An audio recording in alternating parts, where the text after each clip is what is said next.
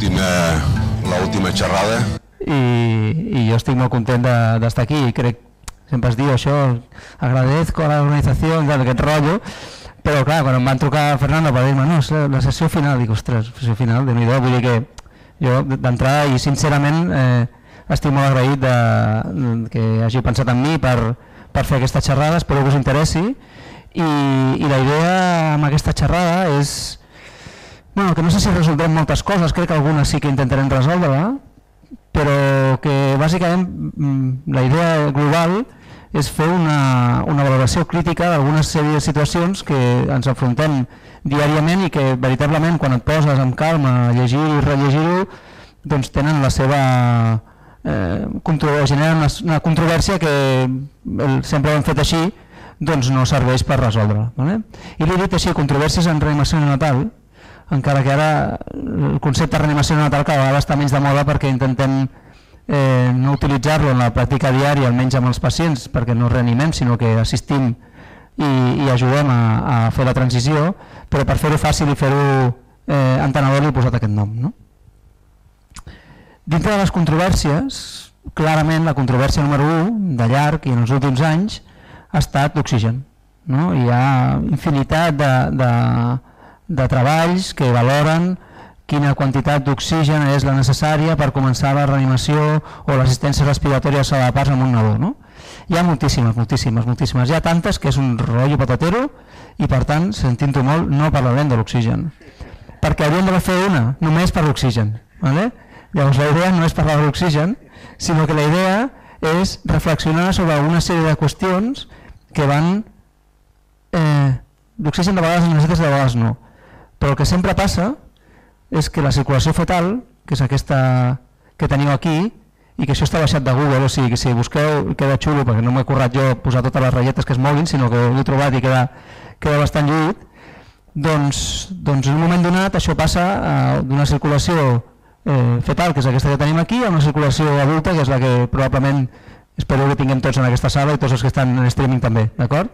Algú deu tenir el ductus obert, algú deu tenir algun flop, no? però vaja, en qualsevol cas, la circulació és la que tenim a la dreta. Per tant, dedicarem una, una part, la primera part de la, de la xerrada, a, a reflexionar sobre què és la transició, no? què, què significa passar de fetus a, passar, a, a senador, no? I, i, crec que, hola, i crec que és una cosa que ens va passar a tots fa més o menys anys, no? alguns més anys, alguns menys, això no entrarem, però que ens va passar a tots no? I, que, i que crec que és molt important que tots entenguem bé, perquè ja veureu que malgrat que és una cosa que es coneix des de que el món és món, teòricament, no? doncs la bibliografia i la investigació sobre un tema tan bàsic és molt recent, molt, molt recent. No té 5 anys. O sigui que és molt curiós que un tema tan, tan antic eh, s'hagi donat per sabut no? i no hagi generat eh, bibliografia al respecte en, durant molts anys, en canvi ha sigut ja veureu al final una, una cosa que s'ha parlat durant els últims pocs anys. No? Perquè els neonatòlegs hem de ser experts en la transició. És molt important que els neonatòlegs siguem experts en la transició, experts en la tra no en aquesta. No?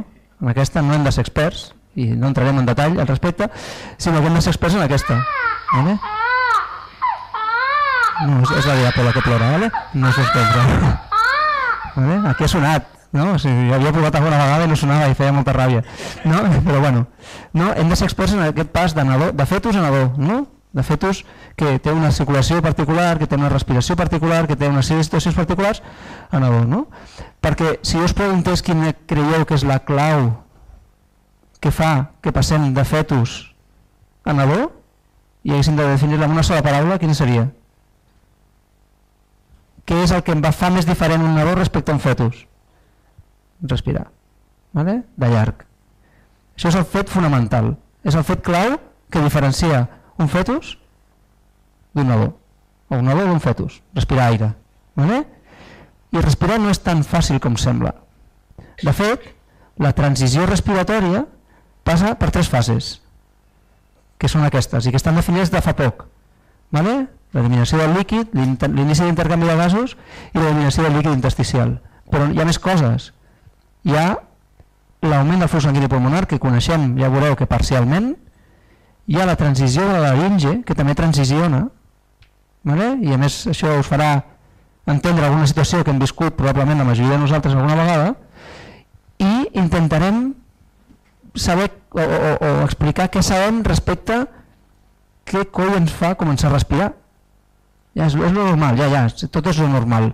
¿vale? Però quan tu et peguen aquí i et fan mal sabem que és perquè hi ha unes terminacions nervioses que, no, etc, etc. No, no és perquè sí, sinó hi ha una raó, bueno, doncs ja veureu fins a quin punt sabem això, que és regulint. Vale? Llavors, quines són aquestes tres fases de transició respiratòria? La primera fase és l'eliminació del líquid alveolar. Vale? I ara veureu unes diapos que me les he currat bastant, aquestes sí. Eh? Vale? Aquí tenim un alveol, check. Vale? Un alveol totalment artesanal, no? eh, ple de líquid, un alveol del fetus un alveol del fetus que quan el nen comença a respirar se sotmet a un gradient de pressió transpulmonar que facilita la sortida d'aquesta aigua de dintre cap a l'interstici. I llavors ens trobem, quan el nen comença a respirar, un alveol ple d'aire, que sempre li queda una mica de líquid per cert, eh? però això era molt difícil de dibuixar i contem que no, i un interstici ple de líquid. I això passa en tots els alveols del, del nadó. Llavors ens quedem amb aquest alveol ple d'aire i amb líquid intra, eh, intersticial que ha augmentat de forma significativa, però clar, aquest alveol s'ha de mantenir obert. I això què ho fa? Doncs això ho fa el nostre estimat surfactant mitjançant la tensió alveolar superficial.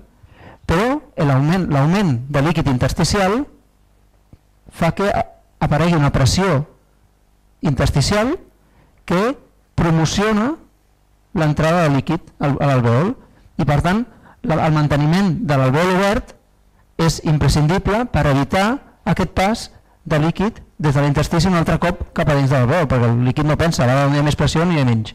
D'acord?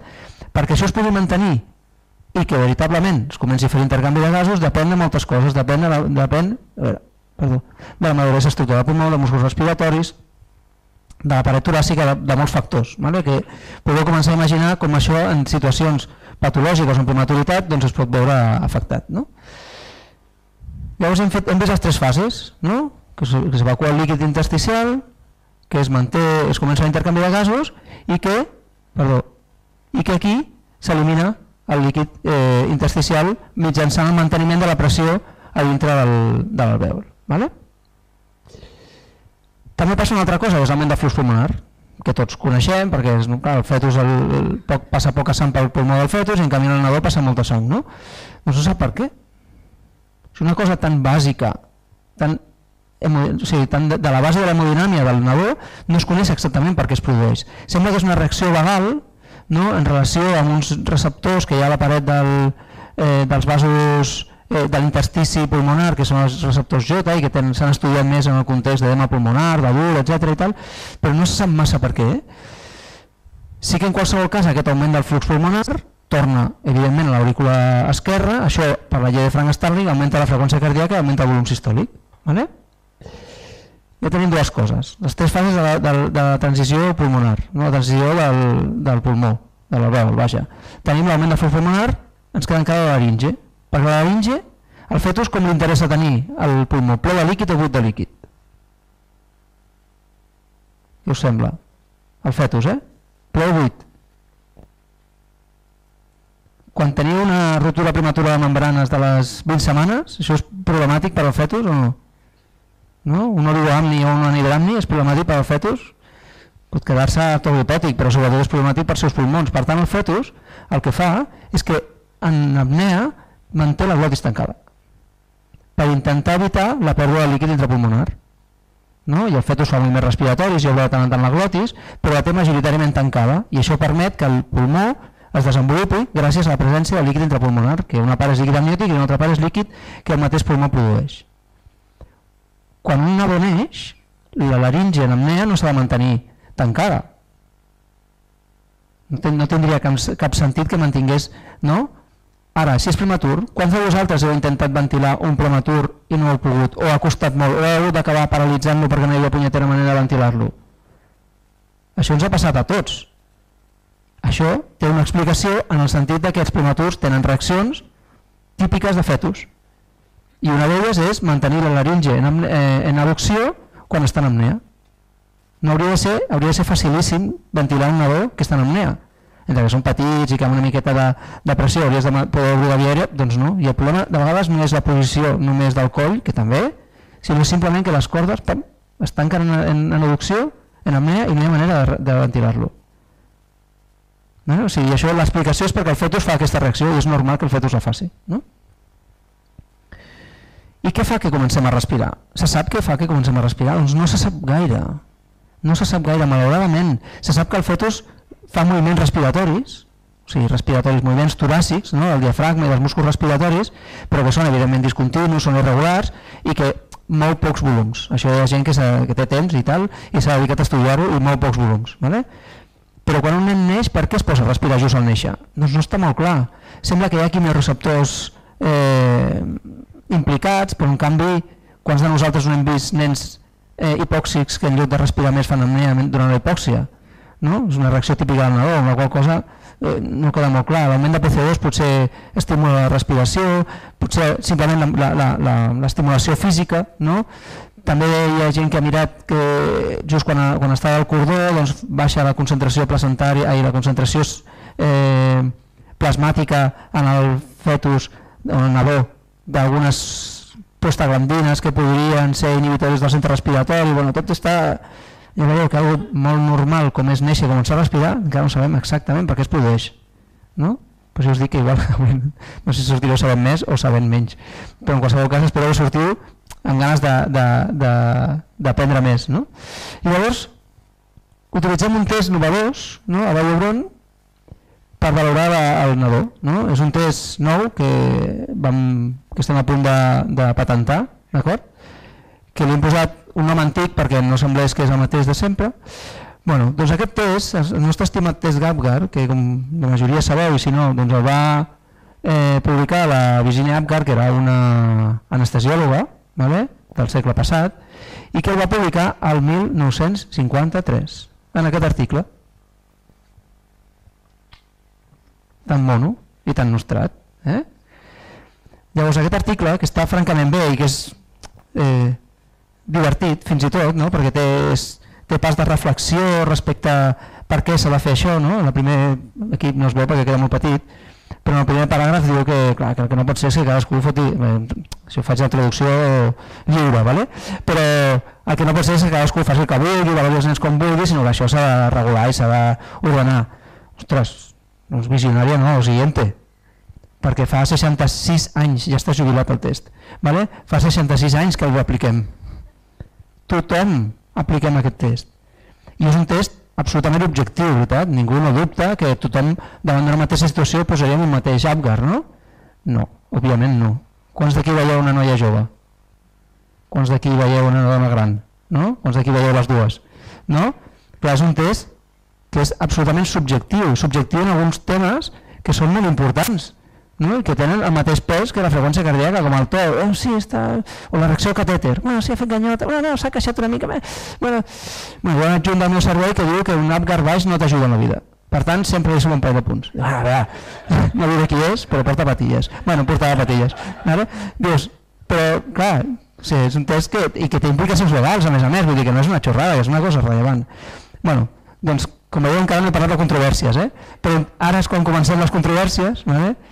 I les valorarem bàsicament en, respecte a aquests tres, a aquests tres factors, no? la respiració, la freqüència cardíaca i el color que aniria en la primera controvèrsia, que seria una mica el relatiu a l'oxigen, és el que deixarem per a una altra xerrada eh, en un altre moment. No? I per tant les controvèrsies inclouran, inclouran eh, bàsicament tres temes, no? que seran la ventilació en positiva, la freqüència cardíaca i un tema que sí que està, veieu, veureu, super, hiper, mega de moda, ¿vale? Que és el pensament arrel al cordó. Llavors, respecte a la ventilació en pressió positiva, valorarem què se sap respecte a quin és el millor mètode i com l'avaluem. Respecte a la freqüència cardíaca, parlarem de com es valora, dius, pues és, és molt fàcil, ja veureu que no ho és tant, vale? i parlarem del pensament del, del cordó amb, una, amb un repàs històric i eh, amb, un, amb el que hi ha respecte a beneficis i riscos. Vale? Llavors, si haguéssim d'escollir una tècnica, una única tècnica que expliquéssim a les persones que eh, poden eh, trobar-se en una situació en què hagin de reanimar una dosi de parts, quina seria? Ventilar. No? Si hem dit una rècia aquí ha dit que el més important per eh, passar a fetus en respirar, doncs la tècnica ha de ser ventilar.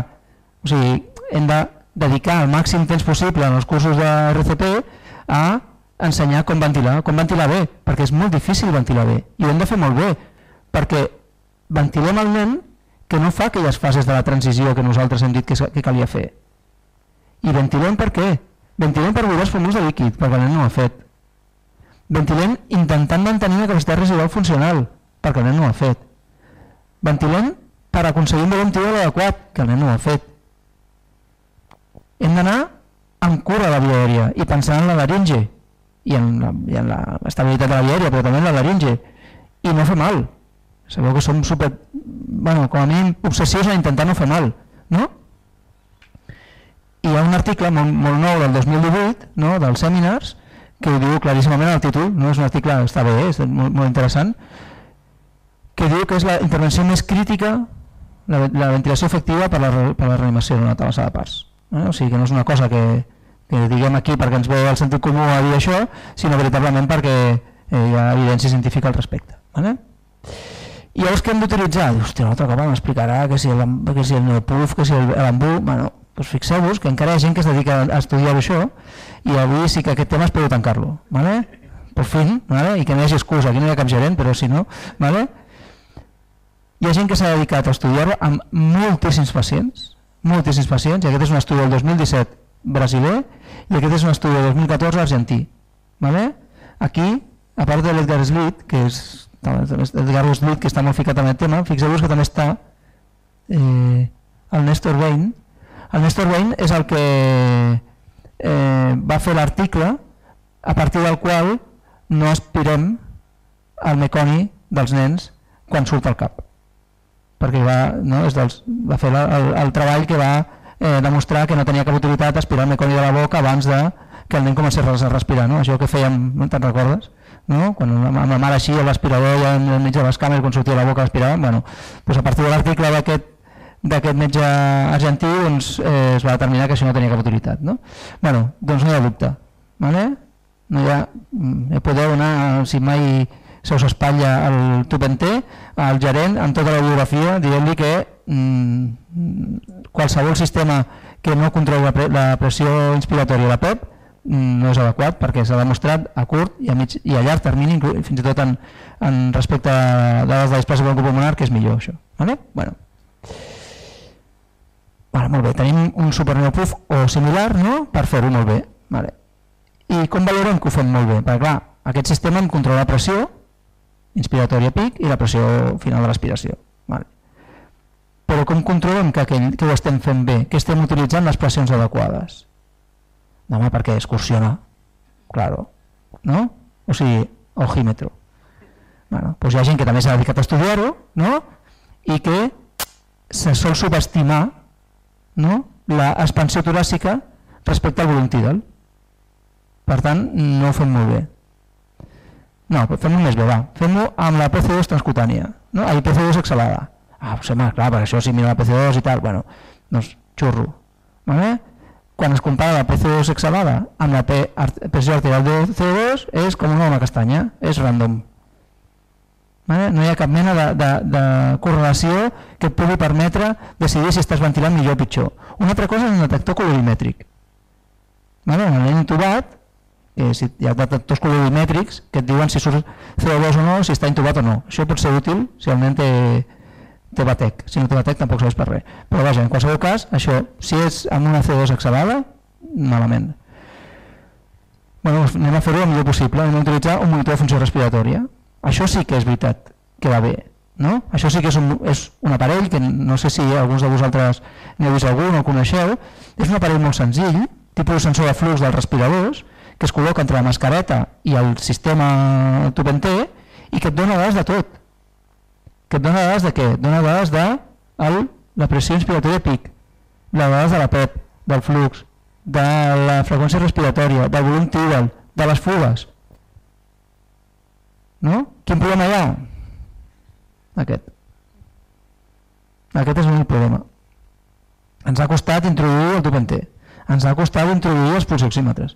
Eh, ara estem començant a introduir els, els monitors no? Cardiorespiratoris, per mirar la freqüència cardíaca, que en parlarem també.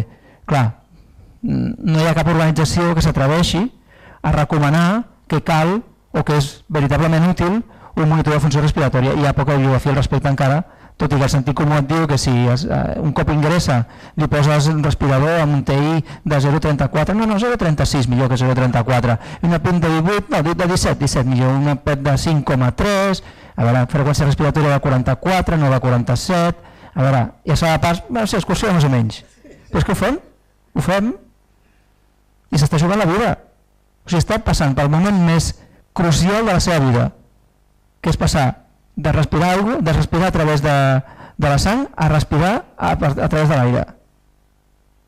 I en canvi ho fem a l'ull. És bastant cutre tot plegat, vale? les coses com siguin, no? I si no va bé, què fem? Fem el Mister Sopa. Algú sap què és el Mister Sopa? No? És un acrònim, òbviament, no? I que estan, estan les guies, en les americanes de l'AJA del 2015, però que la gent utilitza. És curiós perquè és bastant útil, no? per exemple, en, en, en pediatria, no? en els cursos de, de transport i tal es parla del dopes, no? quan un nen no ventila bé, doncs hi ha una sèrie, no? pues de, segons la ubicació del tub, la pressió, no sé quantos i tal. No? Doncs el Mister Sopa és que has de comprovar la mascareta, no? Com ajusta la mascareta, que has de valorar si la freqüència respiratòria, respiratory rate, és l'adequada, no? que potser has de succionar o de netejar la via aèria, has d'obrir la boca si és que no la tens ben oberta durant la ventilació, augmentar la pressió per aquest ordre, eh? tot això per, si el nen no ventila adequadament, augmentar la pressió si, si en tot l'anterior no has tingut èxit i si no buscar una mesura alternativa de via aèria, com per exemple mascar laringe o intubar. Vale? És un acrònim que vaig trobar quan anava preparant això i que em va semblar que era bastant útil, la veritat. No? Perquè fem una mica així ojímetre, pues, oh, puja la pressió, no, no, foca per aquí, no, bueno, per ordre. Vale? No passa res, no fer-ho no fer per ordre. Bueno, molt bé, hem quedat que la ventilació ho fem regulint no? Però la freqüència cardíaca, pst, niquelada, eh? Sí? Perquè li poso les mans a la base del culo i ja està. I más de 100 números de 100 i me quedo tan ancho. Pues òbviament això mm, és molt inexacte. No, no. Però no ho fem així. Jo escolto. Ah, bueno, si escoltes ja me callo. Sí, escoltes. Doncs pues mira, hi ha un article molt interessant, que és del 2011, em sembla que era el 2010, que van fer en un entorn de simulació, no un entorn clínic real, sinó un entorn de simulació, amb experts random, amb Fonendo. Vale? Llavors què feu? Vale, fem Fonendo, però 6 segons i multiplica per 10 o 10 segons i multiplica per 6? Però clar, multiplicar per 6 és més xungo que multiplicar per 10. Però clar, mirar 6 segons és molt poc. Jo millor, millor mirar 10 segons. No, jo miro 15 segons i multiplico per 4. Bueno, ¿Dónde estamos? ¿No? Sí, però és així, avorrido, però és ben bé així, no? No, jo ho faig bé, jo ho faig amb el pulsi. Bueno, claro, quan marca el pulsi, no? Perquè clar, i quin pulsi? Quina tecnologia té aquell pulsi? Quin algoritme utilitza aquell pulsi per treure un numeret allà? Hi ha 50.000 tipus, no? Llavors, de tots els treballs que hi ha respecte a la valoració de freqüència cardíaca amb el pulsoxímetre, està el de Dawson, de la Jennifer Dawson, que en el grup de RCP de l'Espanyol li diem la Geni, eh, això que no consta en acte, eh, i, que, i que va fer el, el treball de, amb el qual decidim el rang de saturació, no? per no? El, el, tots els quadres de RCP a partir dels 3 minuts a 5 minuts i decidim del 65, 80, 85, 95, tot allò que decidim, ¿vale? eh, doncs va aprofitar també per fer la valoració de la freqüència cardíaca fetal. I ara també flipareu una mica, em temo, perquè doncs perquè són moltíssims nens, no? Són no sé quants, són 600 nens o per ahí són molts, molts nens, la veritat és que és un estudi i metodològicament és, és impecable, no? I va aconseguir aquesta gràfica no? de, tots, de tots aquests nens, no? segons la qual són nens que no necessiten, millor dit, que es valora que no necessiten cap tipus de mesura per, per, per que fan una transició eh, autònoma, per dir-ho manera. Vale? Simplement el monitoritzen, però no ni el ventila ni res d'acord? Que no necessiten, no sé si l'estimular una mica, però no, no, cap d'ells necessita ventilació en pressió positiva. Bueno, doncs veieu que el percentil 50 al minut està una mica per sota de 100. O sigui, que hi ha un 40 i pico per cent de nens que al minut tenen una freqüència cardíaca inferior a 100. Està mal, eh? I si ho fem en atermes i en prematurs? Doncs en atermes això puja una mica, no? i sí que ja tenim el 100 aquí en el, en el percentil 50, tot i que ens queden un 10% de nens amb una freqüència cardíaca de 50 i pico, no? que no està mal, és bastant baixet al minut, eh? ja comença a cosa a estressar una mica. Vull dir, hem de teòricament, no? No sé com no ventilaven, però vaja, a qualsevol cas ja devia ser sec, claro, no? perquè si no eh, és, és una mica moralment discutible. I en prematurs, que no necessiten reanimació, toma, toma, per sota de 20, un 10% de nens que no necessiten reanimació, bueno, que no els hi van fer reanimació, ¿vale? però vaja, que, ostres, hem posat el 100 perquè Virginia Apgar va posar el 100, poca broma, ¿vale? o sigui, no només mantenim el 100, eh, l'Apgar, tal com es va dissenyar en el seu moment, sinó que mantenim coses clau, com la freqüència cardíaca de 100, que, que també és veritat que és una mica general en tota la pediàtrica i tot això, però que és la mateixa que va dir l'Apgar fa 66 anys, ¿vale? i bueno, pues això ho hem de fer bé tu, li hem de posar un monitor, tres elèctrodes i un monitor. Llavors, quan triga això a captar? Molt poquet, i això és veritat. Vale? Dos, dos segons, dos minuts va dir, dos segons, vale? això està estudiat també, però clar, existeix la teoria sense pols? I pot néixer un nen fibrilant? Hem de tenir un desfilador sobre parts, just in case? No ho sabem. I això ho deixo aquí, eh? Deixo l'interrogant, no podré resoldre perquè no se sap.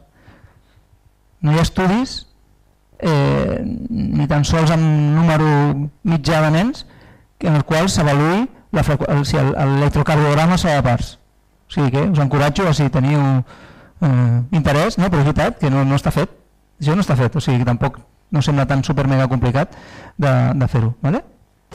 I per últim parlarem del pensament del cordó. Llavors, del pensament del cordó hem dit que farem una visió històrica i després o com està la situació actualment. No?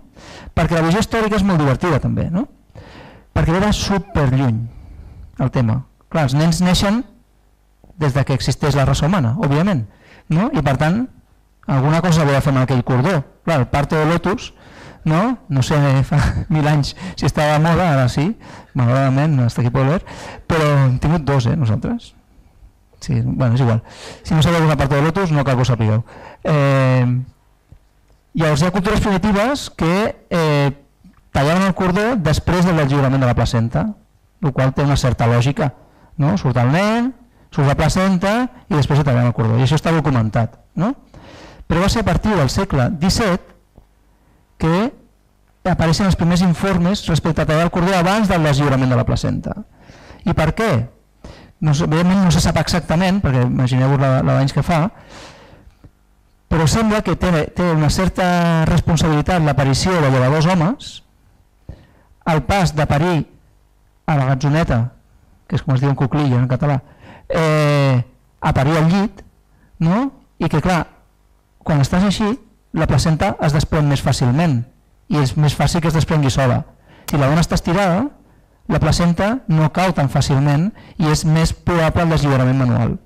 De tal manera que el que feien era tallar el cordó i després treure la placenta perquè era molt més còmode treure la placenta manualment sense el nen allà ficat que amb el nen allà ficat. Vale? Els homes més comodons que les dones com sol passar també. Però a part de tallar-lo cal pensar-lo. Doncs a partir del segle XVIII va ser que va, esdevenir una pràctica habitual i també hi ha teories dif diferents no? I, clar, una és home, perquè no és de sang ni la mare no? bàsicament, o el nen o els dos no? n'hi ha qui diu que fins i tot perquè no es taqués la roba del llit però clar, no existien las rentadoras al segle XVIII.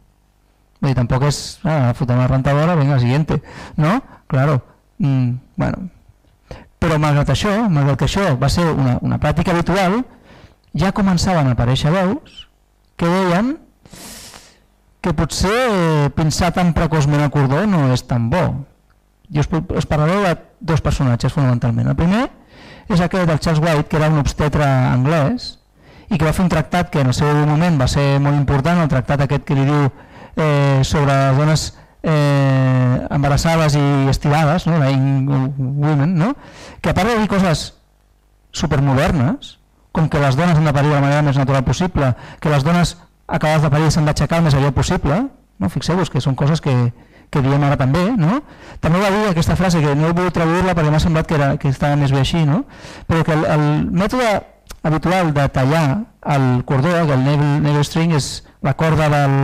és una manera no científica de dir cordó umbilical, no? però que s'utilitza molt en, en, en textos anglosaxons, no? En el moment que el nen neix, dius, més moda que avantatge pel nen. No? I molt poc després, això va ser el 1773, només pocs anys després hi va haver aquest altre personatge que és l'Esmos Darwin, que era l'avi del Charles Darwin i que era un tio bastant curiós perquè aquest era obstetre i era diverses coses, no? I, i es va dedicar a, entre altres coses, això que poso aquí, però també era famós per, per exemple, dir que la masturbació era molt bona, 1801, eh? vull dir, poca broma, eh, receptava sexe als seus pacients perquè deia que millorava eh, el control del dolor, per exemple, i de l'estrès en aquell moment, o sigui que no està mal, no? I va fer aquesta... aquesta eh, I a més tenia una vida, bueno, Holgor, bueno, es veu que era, era famós als seus alrededores, eh? No com el seu net, que era molt més així eh, prudent, no? però ell era impressionant, es veu.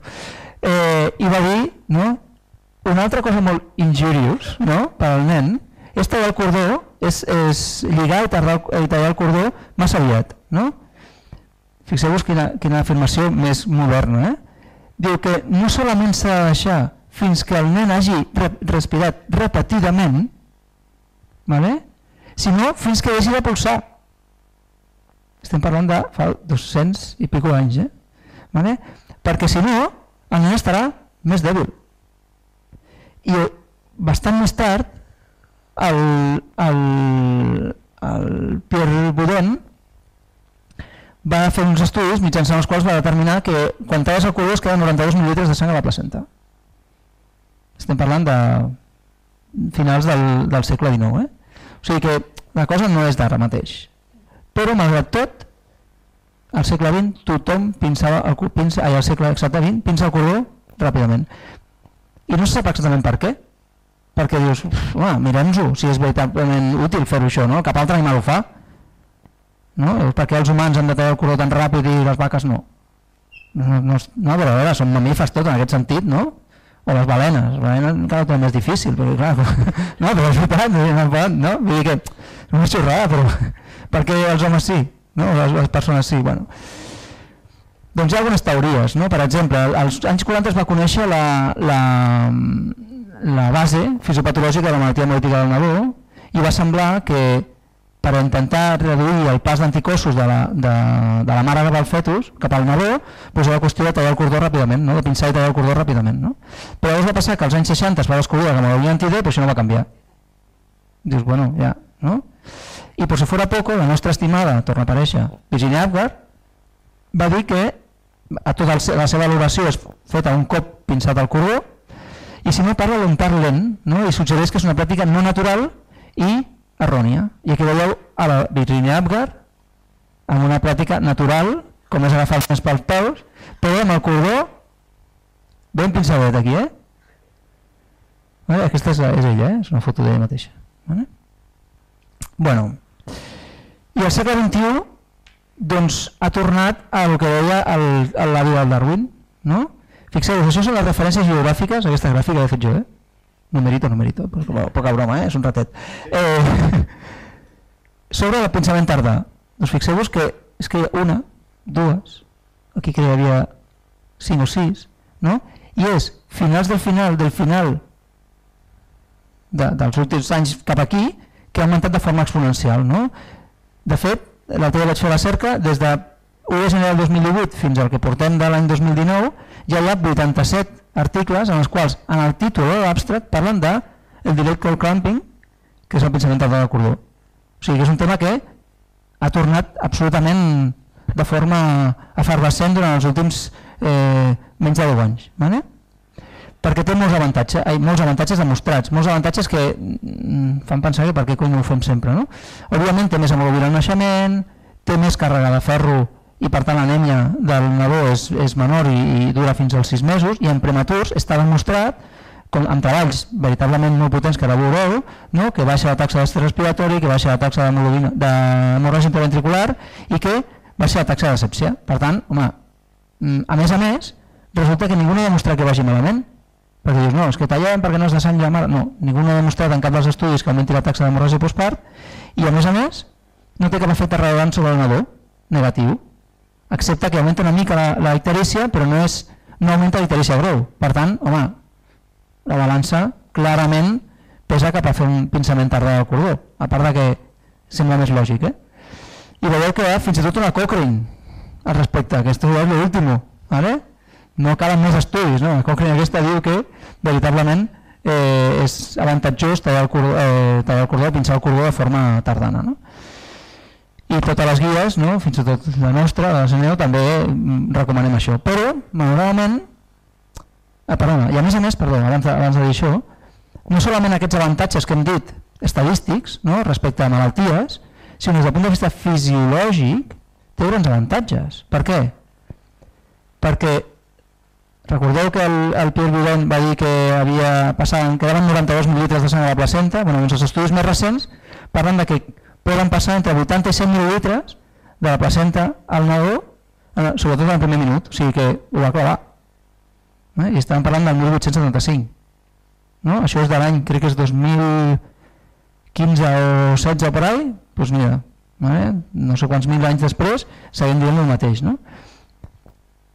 Mm, no se sap exactament per què la sang tendeix a anar de la placenta al nadó, perquè dius, clar, si no pinso el cordó, la sang va i torna, va i torna, va i torna. Vull dir que també tindria lògica que ens quedéssim a zero igual, o sigui, en balanç, no? Perquè igual la, la que va pel cordó cap a la placenta torna, per tant és la mateixa, però se sap que el balanç és positiu cap al nen. Vale? I no sap exactament quin és el mecanisme que fa que això sigui així. Vale? Però és evident que facilita la transició hemodinàmica, especialment en cas d'apnea, ja la veurem. Vale? I això vull reivindicar, que es reivindiquen sols, però bueno, per fer conèixer, com que he posat gent de l'any de Maria Castanya, doncs poso gent molt moderna, vale? que és un estudi del Hooper i l'Argent eh, Tepàs, que només des del 2015 fins ara tenen 8 articles entre els dos, o sigui, on surten els dos, després cada un té més, eh? parlant de la transició cardiovascular i pensament tardà del cordó umbilical, que tenen, després tenen més articles d'altres coses, no? els mateixos que tenim nosaltres, per exemple, Baufer, aprox. Eh, pues eso, no? Eh, pues, eh, veritablement estem parlant d'ara, eh? Estan estudiant una cosa de fisiologia de, de la vida des de la vida és vida, no? Llavors, us recomano aquest article, que està molt bé, que és un article de, de, de resum de fisiologia, no? on parla de, justament d'això, no? de com afecta el pensament del cordó respecte a la transició de, de, del nen al naixement, no? que és del 2016, i sentencien això. No?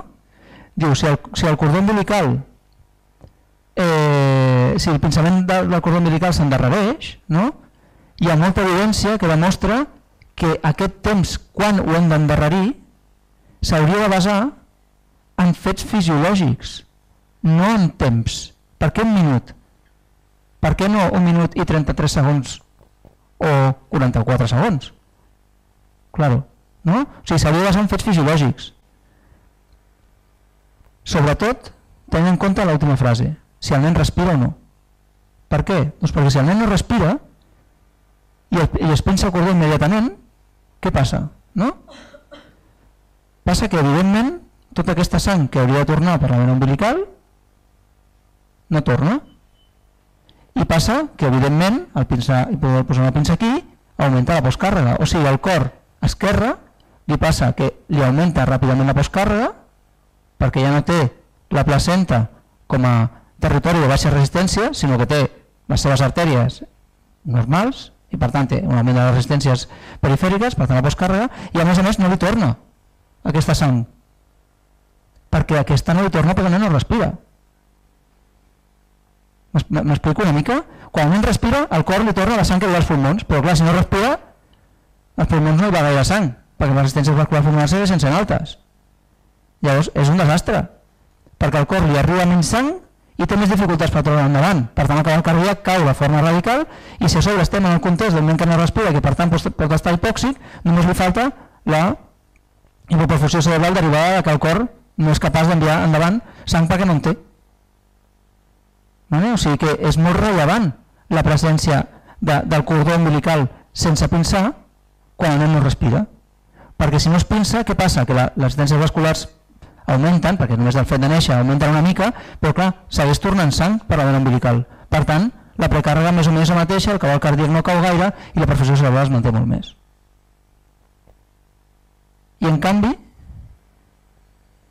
perdó, abans de l'encanvi, hi ha, malgrat que veiem que diu, ostres, avui està molt bé, pensar tardanament al cordó umbilical genera alguns dubtes i algunes preocupacions. Que ja veureu que tampoc hi per tant, eh? però per exemple, com fem els gasos del cordó? Ah, perdó, no? hi ha poca informació respecte al desenvolupament a llarg termini, de pensar tardanament. Vale. Estem parlant de coses de fa 4 anys, d'experimentació. Vull dir que no dic que no estigui bé, però que no portem molts anys experimentant respecte a aquest tema.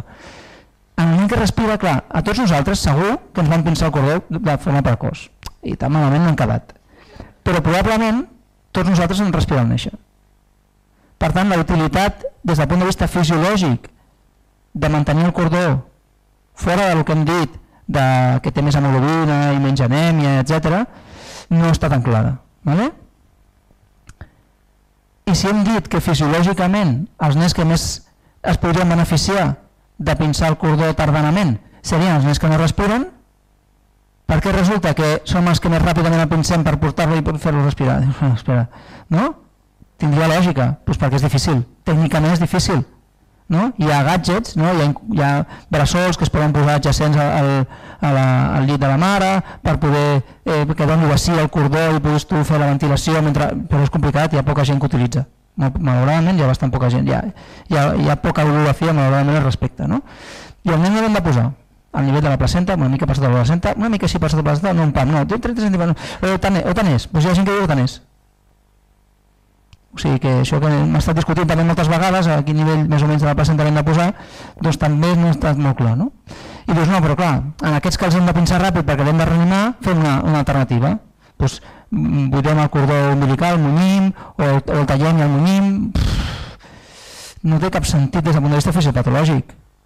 Perquè no? agafar el cordó fer així, nyaca, i fotre-li 30 o 40 mil·lilitres, dius, ostres, vaya catxo càrrega en dos segons. No? Mm, bueno, sí, és un plan B, però no sé si és un plan B que pot ser pitjor el remei de la malaltia, o sigui que no està massa demostrat encara. No? I si hem de fer uns gasos? I hem pensat el cordó. Quin valor tenen aquests gasos? Perquè clar, els gasos són molt importants. No? El pH de, de, de umbilicals el tenim quasi universalment. No?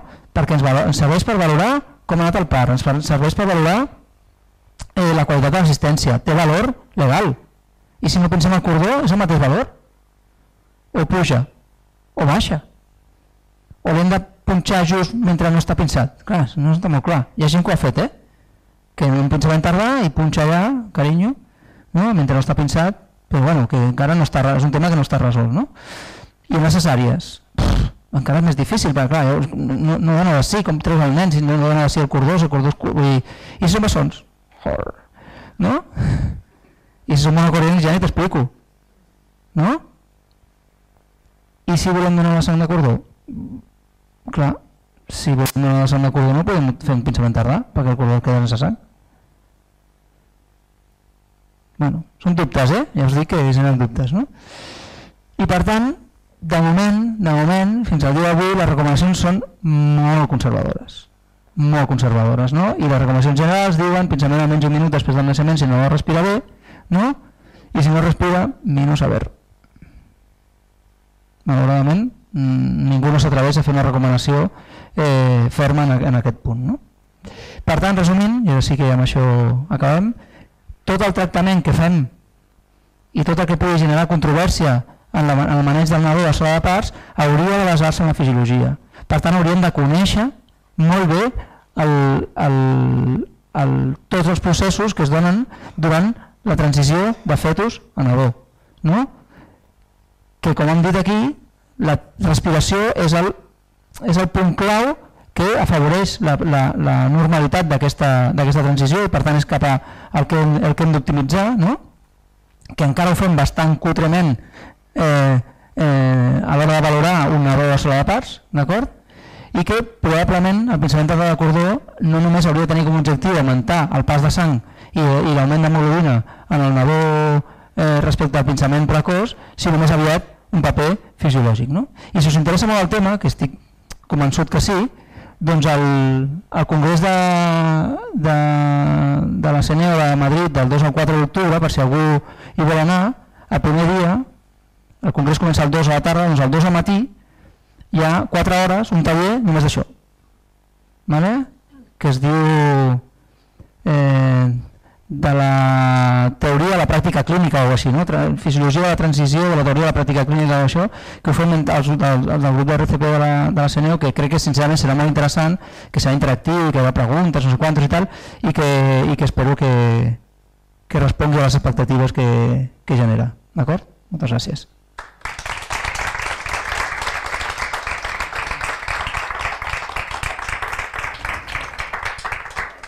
Preguntes, comentaris, elogis... Eh...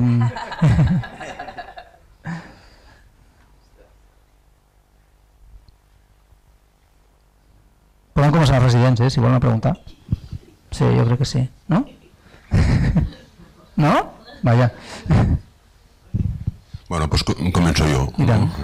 Eh, bé, m'ha agradat moltíssim perquè m'ha fet pensar en moltes coses i m'ha recordat eh, el que fèiem, mm. no?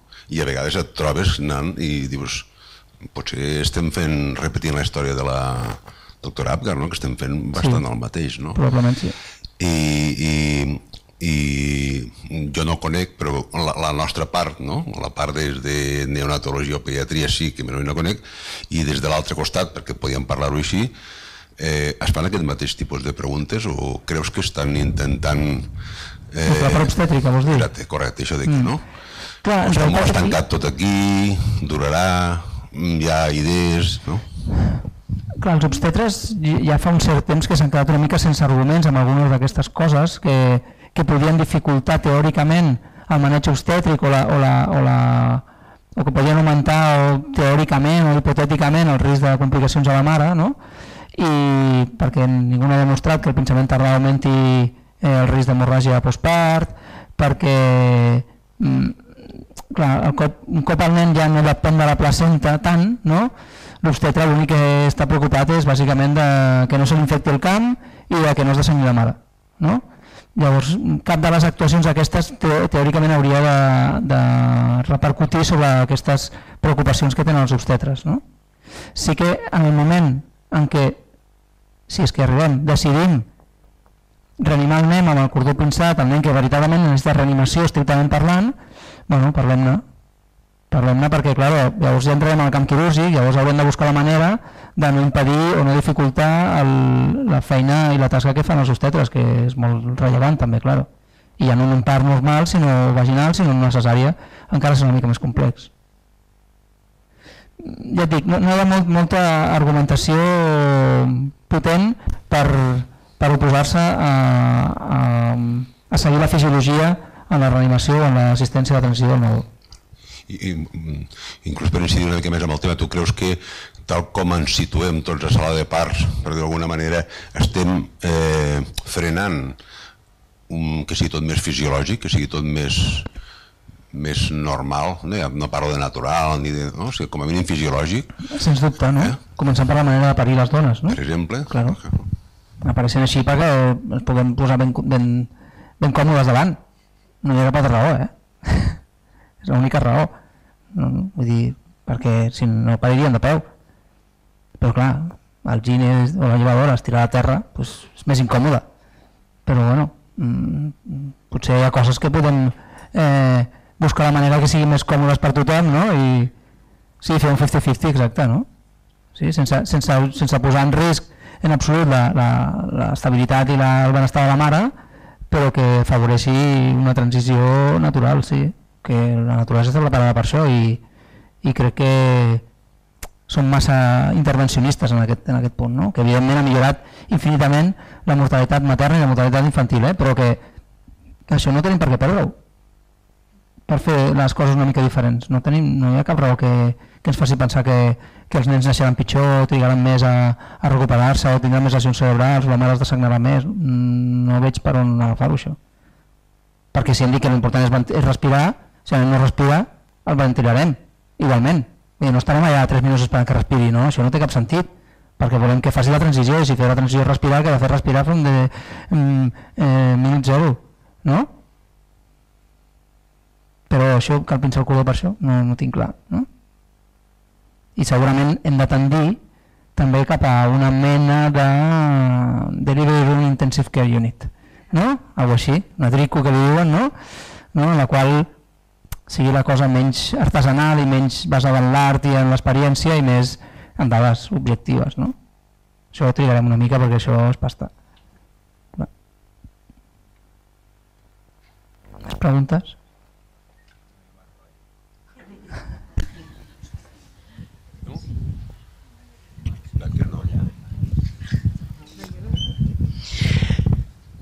Un plaer eh, tornar, tornar a sentir mm, no tant la part més tècnica sinó la part més, més mm, de vivència humana, de, del misteri de la vida, no? Mm. del misteri de, de com a veure, ho posaré més fàcil. A mi, en el camp del tema dels tractaments infantils, diem que, que el que hem de vetllar és per la salut materna infantil, perquè el nen no neix a la sala de part, sinó que neix quan els seus pares neix el desig de tenir-lo, no? ni, ni abans de la concepció. I llavors uh, ens agrada comparar-ho amb, amb el tema del, de la construcció d'un edifici. No? com si fossis un, un arquitecte. No? Hi ha d'haver un projecte i un, un embaràs eh, pensat, Uh -huh. hi, ha, hi ha una primera pedra, posem una primera pedra de l'edifici en el moment de la concepció i, i, i generem tots uns fonaments en els quals els pediatres jo crec que, que no ens hem interessat prou fins darrerament, que és els fonaments de l'edifici infantil que, que s'estableixen al fons durant el període d'embaràs. A mi sempre m'ha preocupat, m'ha preocupat, m'ha interessat saber per què els nanos neixen en el moment que neixen perquè eh, en, en aquest arribar al nivell de terra, perquè per un edifici doncs, creixi bé necessita doncs, que els fonaments arribin al lloc en què tu preveus que és el sol, que és el terra, mhm. -huh. i, i després a partir d'aquí tu faràs les parets mestres de l'edifici que seran bàsicament, com diu la doctora Escarda, bàsicament emocionals, les parets mestres de l'edifici. No? I, llavors, eh, aquest dubte de saber fins a quin punt eh, ajudar els nanos a que arribin en el seu moment a eh, arribar a ras de terra i que tinguin el màxim de condicions pel seu ras de terra, per la seva individualitat com a persona, què és el que fa que cada nano vulgui néixer abans o després i de quina manera ho estem condicionant nosaltres en funció d'això, de les necessitats del sistema i no tant de les necessitats dels nanos. Me'n vaig a molta filosofia molt gran aquí, no? però em refereixo, aquí diem per què, per què respiren, no? quins són els canvis de què fem el canvi de respirar. Però què és eh, el que dieu des de neonatologia, què és el que fa que un nen neixi? No que respiri, sinó que faci que després hagi de respirar. I, I què és el que pot fer que millorem que les expectatives d'aquest període de fonament que li donem a un individu que hem establert doncs, que són eh, les 39 setmanes o el que vulgui, 40 setmanes, eh? uh -huh. i doncs eh, puguem ajustar-ho al màxim en benefici d'aquests nanos. No sé si, no sé si m'entén la pregunta, sí. no? O sigui, la, la idea que em, no, acabem dient una manera de, de millorar el bon tracte infantil és evitar les prematuritats per exemple. Per, dir, per què? Perquè estem respectant que cada nano doncs, tingui el seu màxim de possibilitats a partir de que ha construït uns bons fonaments físics i emocionals amb els pares de la mare, però jo no m'hi poso per aquí. Però per la part aquesta de la, de la reflexió de dir per què neixem, per què un nen vol néixer? Clar, és, és complex, no? I, i veritablement hi ha moltes... Eh, perquè jo crec que la qüestió és que amb l'objectiu principal de millorar la supervivència infantil, eh, segurament en alguns casos, o en molts casos, ens hem passat. No? I hem pagat un preu, que és la prematuritat, amb l'objectiu de millorar la supervivència infantil. Llavors, clar, així, clar, per què quan, quan el Darwin, l'avi del Darwin, clar, és molt maco ho explicava, però es, es morien com mosques. Clar, totes les dones tenien diversos fills, dels quals alguns vivien i alguns no. I bastantes dones morien, vull dir que això Clar, això és un, un estàndard o un, una base de qualitat que no podem perdre. Llavors, d'aquí cap endavant tenim un marge de millora important. No? Llavors, tots els esforços que fem per saber per què punyet es posa un úter a contraure's quan teòricament és abans de temps, doncs ens permetrà eh, diguéssim separar els casos que és una malaltia i que per tant el risc eh, de la vida intrauterina superior a la vida extrauterina o els casos en què és una, diguéssim, una alteració hormonal o del medi intern que podem eh, controlar sense, sense risc per, a, per al nadó i ni per la mare. No? Però bueno, és, és un tema molt interessant que eh, estem en bolquers en molts aspectes, perquè eh, quan jo a res utilitzàvem el prepar i l'utilitzem a Tossivan i hasta aquí poder. I eh, no, no ha avançat gens, no? La, la Tossivan què és? Pues és que fa una cosa només. I el pare es produeix per moltes raons. I Tossivan només fa una cosa. No? Llavors, clar, nivells d'oxitocina, els receptors d'oxitocina i me paro. Tot el que no sigui això, per què dones mm, de tossivant fins a les orelles posen de part? No? Pues evident que no és suficient. No? Pues, mm, haurem de valorar i segurament trigarem molt temps eh, quins són els factors que mm, diguéssim separen el que és la malaltia i per tant el risc del que és un destorb de ment intern que provoca el pare abans de temps. És, és molt interessant, eh? però estem lluny, jo crec, sincerament. És molt... Moltes gràcies. Eh? De res.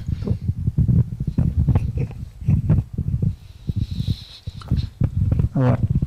Hola, jo més que res volia agrair-te la presentació, eh, perquè les presentacions que posen més dubtes que solucions realment són molt bones, perquè estem molt acostumats a, a fer les coses perquè s'ha fet sempre així. Mm. Fem l'Apgar, contem el 100, eh, diem que hem de deixar un minut abans de clampar, les recomanacions europees són de l'any 2015 Mm. i en molts, molts parts no es fa. Vull dir que encara seguim fent les coses molt perquè tenim un costum de fer-ho.